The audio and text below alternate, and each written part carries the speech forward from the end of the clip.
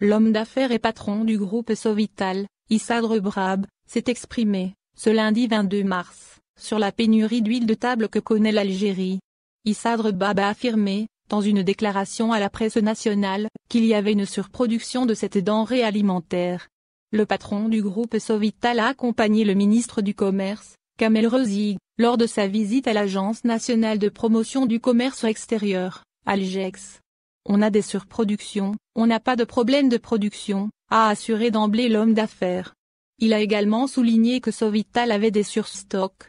Issadre Brab, lassé par les questions des journalistes, indique qu'au niveau de ses usines, tout marche bien, il n'y a ni problème de production, ni de stock ni de quoi que ce soit. Il renvoie ainsi indirectement la balle à la distribution et à la gestion de cette crise.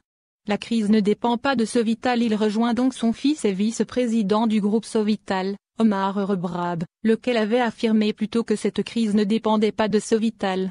Il avait également assuré quant à la disponibilité de l'huile de table durant le mois de Ramadan 2021 en Algérie. Omar Rebrab avait aussi souligné, dans sa déclaration, qu'une grande quantité était disponible au niveau des stocks du groupe, écartant ainsi toute idée de pénurie. Le vice-président de Sovital avait incombé la responsabilité de cette crise à quelques commerçants qui auraient, selon lui, refusé de se doter des quantités habituelles d'huile pour les commercialiser. Omar Rebraba a également déclaré que ces mêmes commerçants essayaient d'exercer une sorte de pression sur le groupe afin de fuir la facturation, exigée par le ministère du Commerce pour conclure des ventes. Pour lui, la crise s'est seulement intensifiée suite aux spéculations, dont les réseaux sociaux sont responsables. Le directeur de la communication et des relations publiques de Sovital, Moulou Wali, a également confirmé que l'huile de table était disponible en grande quantité.